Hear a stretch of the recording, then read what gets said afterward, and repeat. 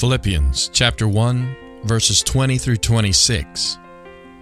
I can hardly wait to continue on my course. I don't expect to be embarrassed in the least. On the contrary, everything happening to me in this jail only serves to make Christ more accurately known, regardless of whether I live or die. They didn't shut me up, they gave me a pulpit. Alive, I'm Christ's messenger. Dead, I'm his bounty. Life versus even more life. I can't lose.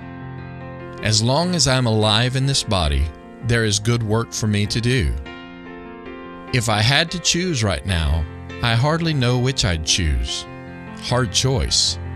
The desire to break camp here and be with Christ is powerful. Some days I can think of nothing better.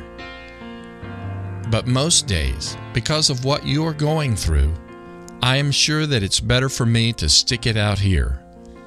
So I plan to be around a while, companion to you as your growth and joy in this life of trusting God continues.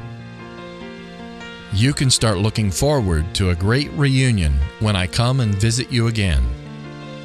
We'll be praising Christ, enjoying each other.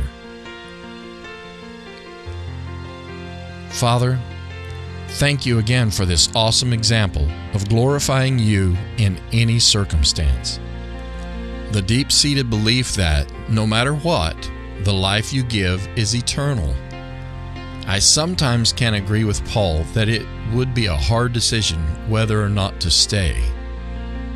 The promise of seeing you face to face would complete a longing that our hearts possess from our beginning.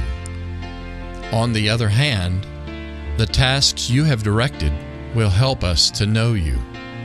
The more, the better. Continue your development in me so that I may see every moment through your eyes. Temporary is only for a moment. You have said this life on earth is like a vapor, here one moment and gone the next. Use me, Lord, to make the most of my moment.